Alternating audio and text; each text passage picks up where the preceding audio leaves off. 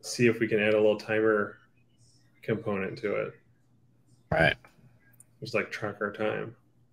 So, Alan, what do we need to do to make that happen? Because this is So in this scene, um, in the hierarchy, let's make a new object called like game manager or something. Top left. Yeah. Uh, empty, Empty. game on. And then mm-hmm. add a script machine component. Not in there, in the on the right.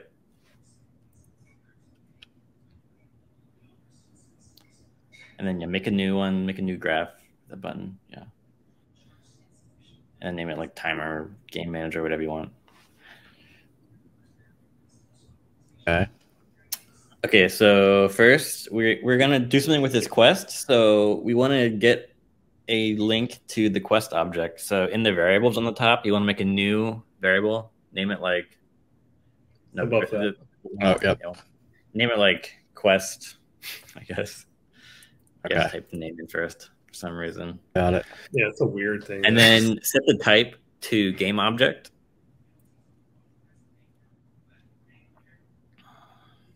Yep. Nice. and this lets us like basically just make a reference to something else in the scene. So we want to drag in the quest object on the left into that value field. Okay so now that's probably all we need. Oh actually no. We should set something else up. So we're doing like a timer but we want to like display this somehow. So we want to make a ui canvas. So right click there and just click uh, ui canvas. Oh, wrong one. Sorry. UI canvas. and then yeah, delete that one. Um, so in that canvas, uh, you can click on the game. So when, when you're editing canvases, like they won't show up on the scene view, but they'll show up well on the game view. So on the top Oh, here. game, yeah. And there's nothing in the canvas yet, so you don't see anything.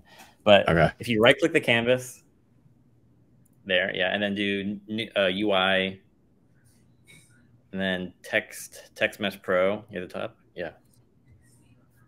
So, I mean, we can just leave it there probably. Maybe like uh, on the right, under the transform, move the Y up a little bit so it's maybe not in the center of the screen. No, on the very at the very top. No, no, no. Oh, oh, oh. I would do like 300. That's good. That's good. That's good. Oh, 200. there we go. 200, 200. Yeah, That's good. Okay. Um, and then for now, you can just delete the text inside the text box, so it doesn't say new text. Yeah. And then back to our script. We can. Now we got to get a reference to that object, so we want to make a new variable, and we can call it text. Um, and then make the type be text mesh pro UGUI, the bottom one. Okay. Text mesh, the regular text mesh pro is for like non UI. UGUI is UI. Um, I guarantee anyone who's worked on UI is not has come to problems with that. Um, anyways, let's go to the uh, edit graph. Um, and then yeah, hit OK. We got to set up a bunch of stuff in the background. Okay. Loading. Okay, yeah. So yeah, dock this in like the game view so that we you can like drag the yeah Like put it in or like just No, next to just it? like yeah like that perfect. Oh, Okay. Oh, Oh, no, I had it wrong. yeah. This. And then like Okay. get us some get us some room because project project view is too big. Yeah. Okay, I had perfect. to. uh Um, All right. Cool. Okay, so we, what we want to do is when you start the quest, we want to start a timer, and when you end the quest, we want to like stop the timer and then I don't know, do something maybe. Um, so I actually need to look this up. What's the best node to do this? Uh, There's tons of nodes, right? There's a timer node. yeah, but it's not really what you want to use because like Why would it be the obvious one? Of course. Uh, so the timer node is like, it's not a stopwatch node. It's like a, um, I guess a timer. It's it like counts down. We want to count up. Hmm. Um, I don't think there's. Checking real quick. Uh, yeah. Okay. So it, there's nothing to do this like for us, so we got to do it ourselves. So uh, we want to make a event. Wait, I'm trying to think of the best way to do it. Anyways, okay, let's make a event for when the quest starts. So right click to make a new node. And then do, okay, so to find all the spatial nodes, you go to like, there's two ways. We have like, there's like events and actions. To find all the actions, you go to spatial at the bottom. And then you can go to like, these are all the, they're all organized. So you can go to like quest. And these are all the quest or like, these are, there's a ton of things you can do. You can like change, get the names and set, set the current task. Anyways, we're not, we're not going to use this. We're going to go back a few. We're going to go to the front of this menu. One more. And then go to events near the top. It's a little lightning bolt. And in here, there's another folder called spatial. Another folder called quests. So these are all the quest events. And we want to do on quest started. Yeah, that. And then we also want an on quest completed. You could just like type that in by, you don't have to go through the menus every time. Yep.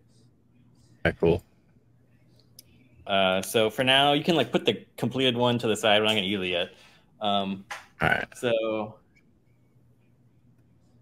okay, so basically what we're going to do is we need to, this node by itself on quest started, it, it won't get called because it needs like a reference to a quest. You can see on below it, it says like this.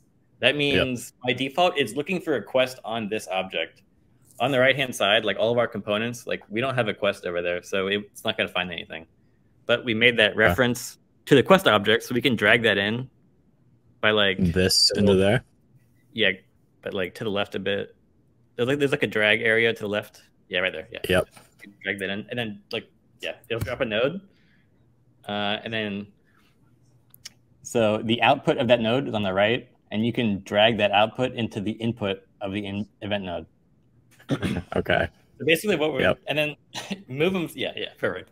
Yeah. So what yeah. we're saying is like, on we're we're, we're kind of like proxying that object to like check for an a quest started event. Um, I get it. Yeah, it's like a pass through in a way. What was that? It's like passing through that. Oh, this is a quest. Like in a way, it's letting it know. Yeah. yeah. Okay. Um, Cool. all right. So what we're gonna do is we need to track uh, time and some sort of state that's like we're currently like we are tracking time. So we need a boolean and a float. A boolean is like true or false, which will be we are counting or we are not counting.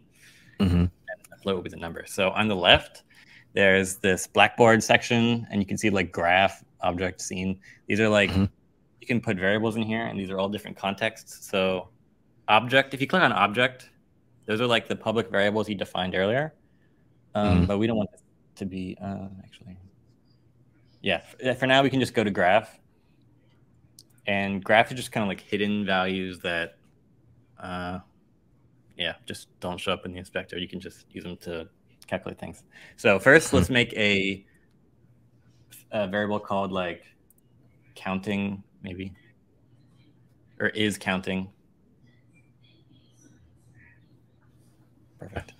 And make that a boolean. And this is just like a true or false value. You can see you can select true or false by hitting that checkbox. That's that'll like set the default value. Uh, Okay. We want it to be false, so it's good. Um, Okay. And then we want to make another variable that's like uh, time. Not counting or No, no. Because so is counting like it's either is or isn't. we- Yeah. We are counting or we are not counting based on Yeah. value. So Gotcha.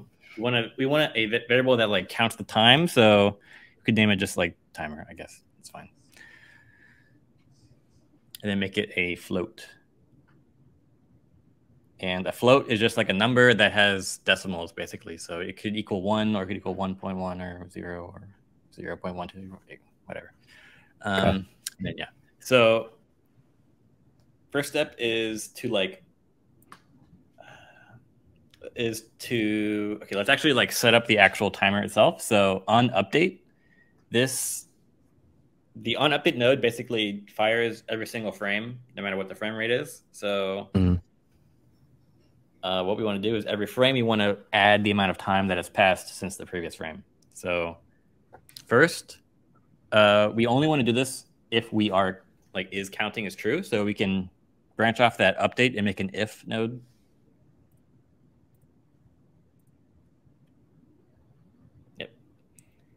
And then we can plug the like drag the is counting into the graph and then plug it into the the little the, the purple bit. No, no, no. So nope. connect this to here. Yes. And drag this up here somewhere or no? no. Okay, so so nodes always go from like left to right, left being the input side and the right being the output side. So we want to output is counting into this new if node. So we would go okay. from the, the, get variable should be on the left. Yeah, move it the other way around. Gotcha. Yeah. And then put this into there. Yep. Cool. And like you'll you maybe notice like you you can't put an input into an input. So like you can't drag that yeah. purple thing into the orange port. Gotcha. Yeah, yeah. So now, um, basically, if counting is true, the top arrow will fire. If it's not, the bottom arrow will fire. All we care about is if it's true. So let's just drag out from the there. And what we want to do is set timer. Yep. So what we're going to do is every frame we're going to set the variable, the value of the timer. And what that value is going to be is going to be timer the existing value of timer, which currently is zero, plus the amount of time that's passed. So um, okay. get us a little bit of room because we're going to need to have like four nodes or something. No, like down, okay. like down to the left. so let's add, um, let's, let's drag in the timer variable. Yep.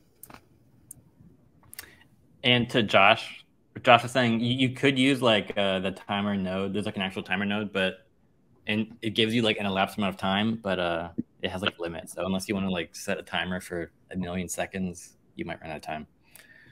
Anyways, uh, so okay, so we want to add this to time that's passed. So drag out from the right and create an add node. And okay, if anyone's paying attention, this is not that important usually, but it can be. There's a whole bunch of different ads.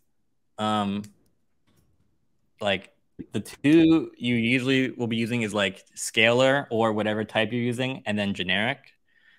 Um, something to consider. This is like really in the weeds. Is like if you're using like integers, make sure you use generic and like multiply by integers because scalar is like a float.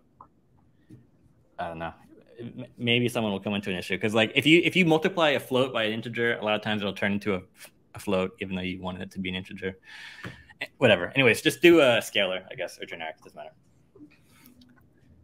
And uh actually let's add the uh, scalar one as well. So do like add scalar. I can actually show the difference. So on the top okay on, also at the very top of your screen there's like a thing that says dim. Can you disable that yeah. yeah. Um, okay, so the add node has like these white ports, and that just means it's like an object port. So like this is visual scripting basically C sharp and in C sharp, an object can have like an inherent like addition operator. So if you had two colors, for example, you could plug those into the add, and then you could like add colors together, or you could I don't know do anything on the bottom, you can see it's like ex- explicitly like numbers. Like you can define a number for the second one. Uh, mm-hmm. So just uh, for differences. Okay. But you can just delete the second one. Doesn't matter. Because what we're doing, it'll, it'll behave exactly the same way no matter which one we use because they're both floats either way. So uh, we want to add the amount of time that's passed. So to get that, you do uh, the look for the delta time node. And it's yeah, the second one. Okay. And you want to so we want to add this to timer. So Mm-hmm. you want to like put it into the add node. The add node was like putting them together. It's like this. Yeah. Yep. That. All And right, cool. so the result of that add node is just timer plus time that's passed. So now we can drag that into the set timer. Right up here into the orange. No. Oh. So you can right click a connection to delete it. Okay. And I'm dragging it into set timer. You said. Set variable. Set So, like- up here. On the bottom, is that white part. It's unlabeled, Yeah. but that's basically like Oh, the this value one. that we're This gonna one. set it to. That's like the new value it gets set to. Gotcha. Okay. And- cool. this is kind of what I was like rambling about. Like, so that set variable has a white port. You can set that variable as like anything. So you could, if you're not careful, you could like accidentally set it as like a game object, and then your timer is now a game object instead of a number. So Hmm. Interesting. yeah. that. That would break Um, things. Yeah. So, okay. So now let's, I guess we should update the text now. So, uh, I just noticed we never, we never like linked the text in the, on the right. You can see it's like on the very right. It's like no, Yep. nothing. So just like drag the text from the left of the screen onto the right. Uh, this text. Yep. Cool. All right, perfect. So now let's get that text into the let's drag a drag them in, and then so we want to go off of him, and we want to do a set text node. Set Uh, text. no, not that one. Not that one. So, no, Oh, no? wrong one. Yeah, delete that. Um, there's like okay, there's like a million of these. So scroll down. No, no, no, no. Oh yeah, sorry. Okay, so is what I was saying before. There's like Text Mesh Pro set text, but those aren't the right ones. You want to go further down to the yeah the UGUI, and there's like a million of these. Um, the the one you want to use at the very bottom, right there. Yeah. Okay. Okay.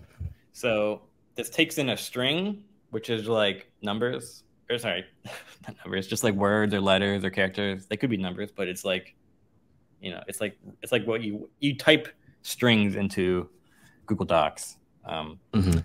So we need to convert our float into a string. So we can branch off of the timer, no, the set set timer. Arrow or circle. Doesn't matter. Okay. So the difference is like when you drag off of a node, it'll like be contextual in the menu that pops up. So if you drag off of that arrow node, it'll only pull up like actions that can be executed. If you dragged off Okay. of the little dot, it would pull up like it would pull up actions, but also maybe like uh something like that add node that's like only takes in inputs, no triggers. So, anyways, uh, look Okay. up the type in like float to string, and then do the one that says uh, the third one format. I think, yeah. Um, so this is like you would. There's no way you would know this without like knowing C sharp, but when you do like float to string, you can like type in format codes to like make it look different. So you could type in like I think yeah, I think you want to type in F1 in format, and that'll give you like one decimal place because our, our the, the number of our float will be like zero point one six four five three four five as the game goes on, and we we don't want to display that because it looks really janky and will make people mm-hmm. think you don't know what you're doing. So you want to like format it so it's just like one decimal point, and then it looks nice. So F1 in um, here. Yeah, and I'm gonna double check that. And then you want to drag the timer into the, the top of that node.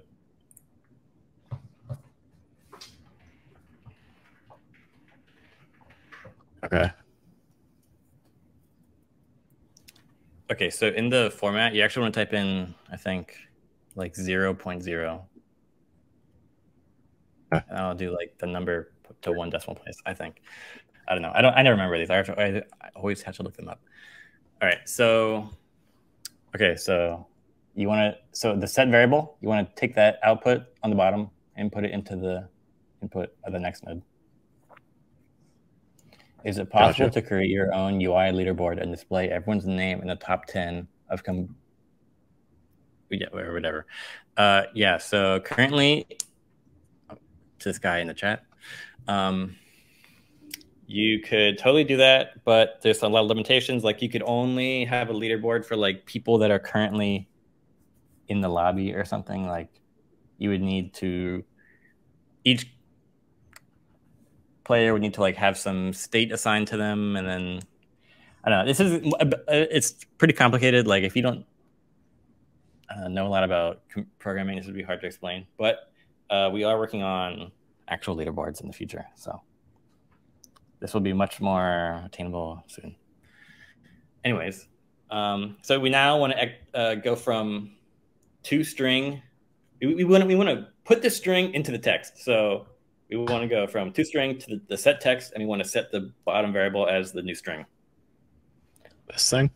Or that thing? Uh, yes, you only have one option. Oh, yeah, yeah.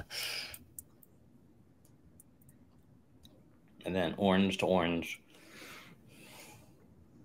nice. Yes. So if we sc- scroll out or zoom out a little bit, this tiny little chunk we have is like, if we read it like a book, it's like, if, zoom in a little bit, I can't see it.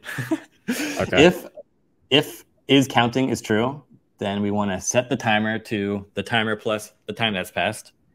And then we want to convert that to a string. And then we're setting our UI element to read to output that string.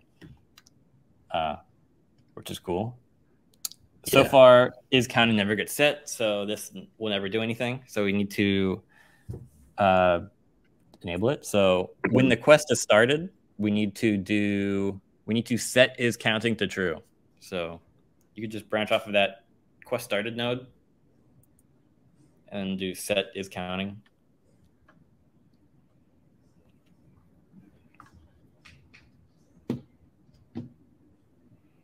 And then you want to branch off the value input, which is on the bottom left. And then do a Boolean literal right at the top. Right at the top. Yeah. So this is a literal is just a way to like define a value, just like in the graph. So kind of like how we define variables on the left, you can just like define a value and then so we want to enable it. So we want to set it to true. Yeah, perfect. Um, and then we want to turn this off. So we want to do the same thing after quest completed, but disable it. Okay. So, okay. Uh, So you can just like copy paste these nodes. let's do that. Okay, nice.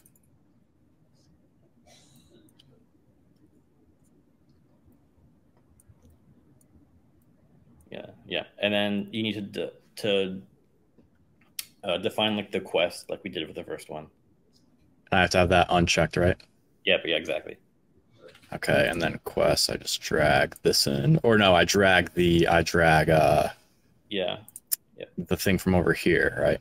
So you can from from This from quest? this view, from this view, you could have clicked on like object on the left, on like the left panel. There's like an object variables. You could have gone there. Okay.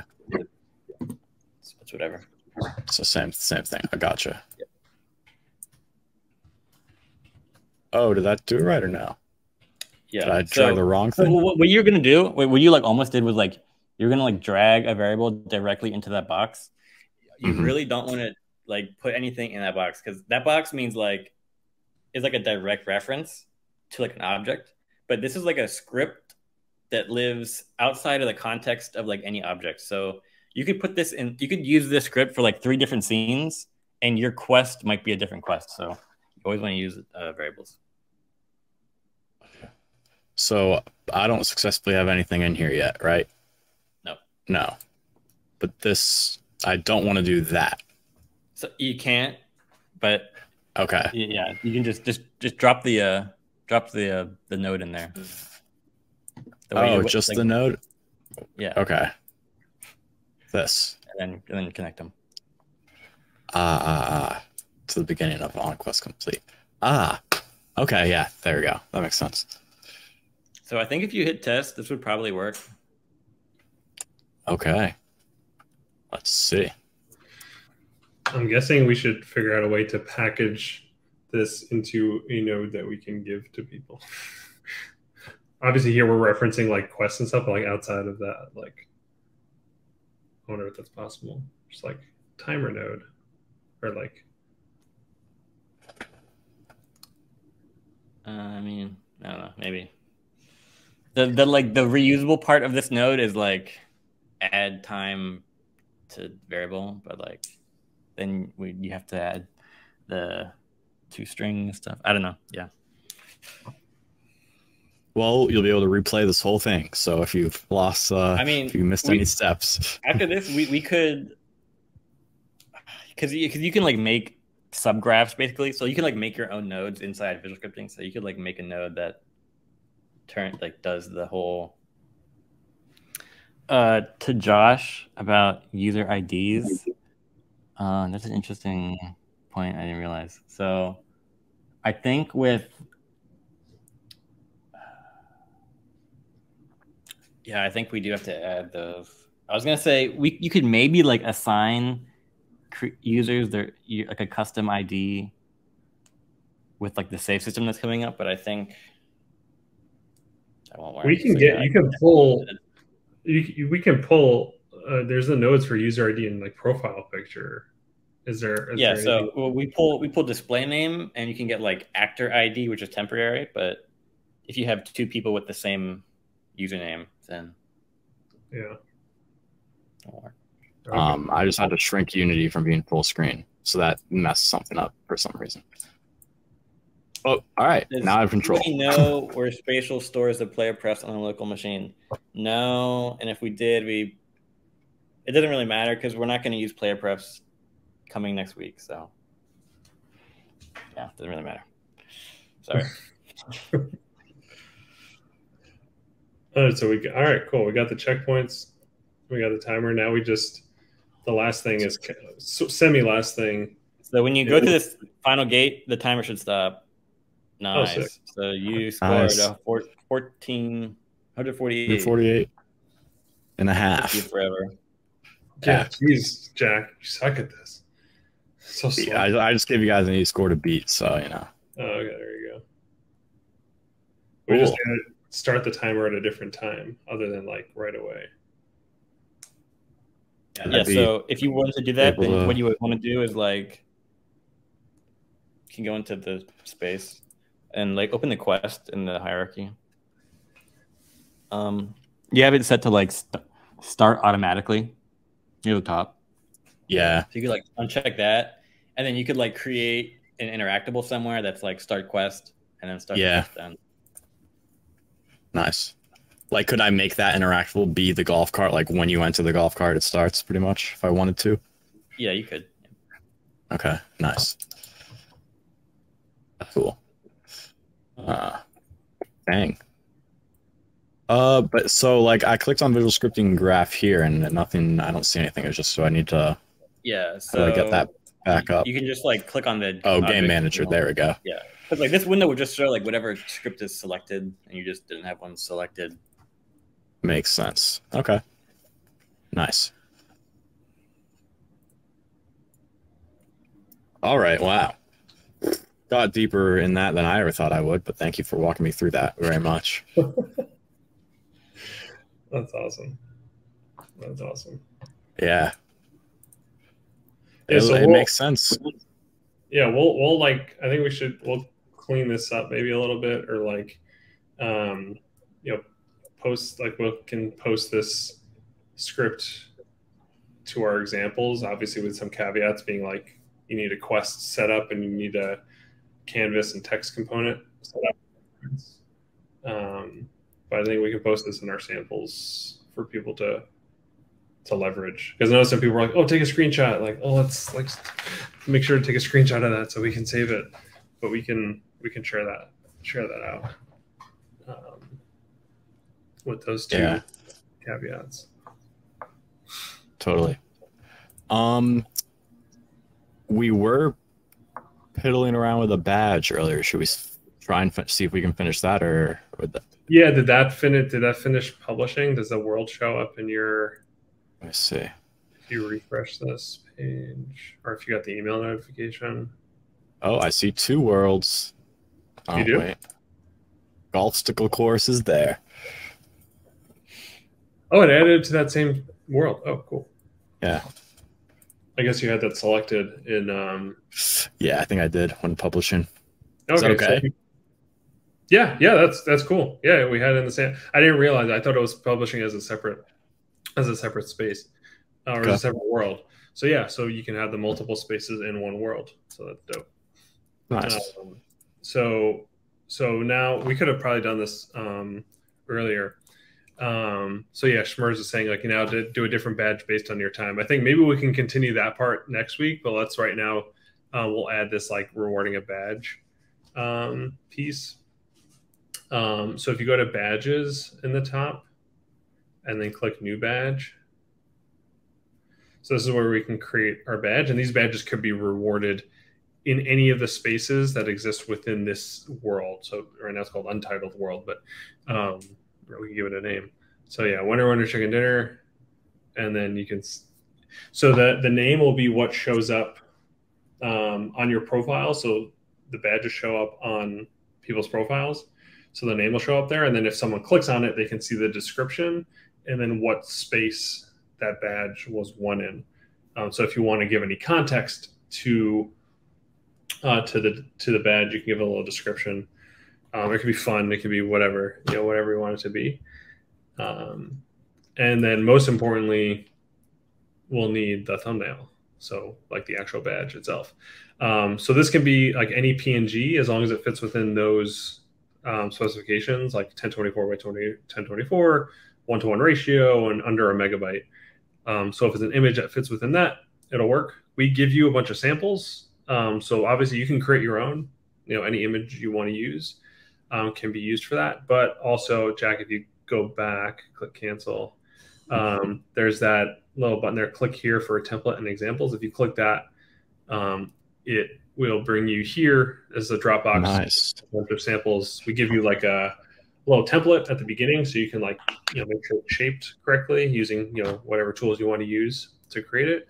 Or here's a bunch of like sample badges that you can use, um, so you could download that. So now, if you want to upload, you can choose one of those. Um, Cool. There you go, and then create badge. And that cool. Badge created successfully, and then it gives you that ID at the bottom. So that's what we needed before to reference in the quest rewards was that ID. So you can click copy on that. And then if you go back into Unity and then to your quest, and then to the quest rewards, if you click the plus button underneath that, and then choose uh, badge, yep, and then the ID for it, just paste that in there. That's all you need to do. So now when someone completes the quest, there'll be a pop up on the screen that says, Hey, you won this badge, winner, winner, chicken dinner badge. And then it'll show up on your profile and you can flex it to all your friends. Nice. And so I that only happens in the published version of the space, correct? Correct. Yep. Um, yeah, correct. Nice. So, yeah. So then the next phase, and this is something we can continue next week since we're about um, at a time, uh, is doing.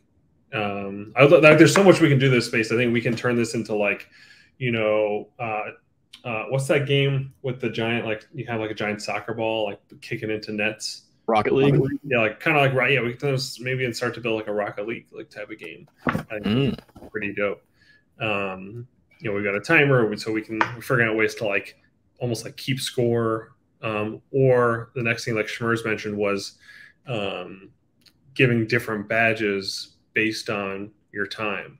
So that would be, I think, something done through more visual scripting, being like, if the timer, you know, you stop the time, if the timer, you know, is less than this, then give this badge. If it's less than that, give, you know, if it's less than, if, yeah, if it's less than this, give that badge effectively.